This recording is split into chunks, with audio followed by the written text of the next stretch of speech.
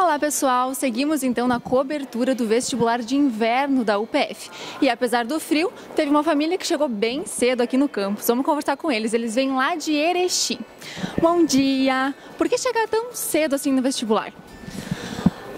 Em função do trânsito, né? Daí tu consegue um lugar mais adequado para estacionamento, né? E uh, às vezes pode dar um imprevisto na estrada, aí tu tem que chegar mais cedo.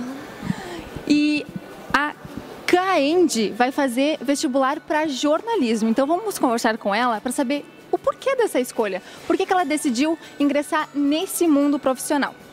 Então, Kaendi, por que escolher o jornalismo? Bom, escolhi porque eu gosto de me comunicar tipo, com as pessoas, tipo, eu sou bem gosto de falar bastante e eu acho que ele abre vários caminhos, tipo, tanto para foto, fotografia, tanto para TV, rádio, tipo, eu gosto disso, sabe?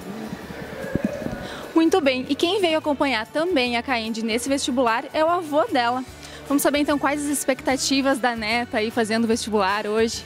Ah, mas tô faceiro, porque é a primeira neta que eu tenho. Se não passar, eu surro ela também. E o que, que o senhor acha assim da escolha do curso?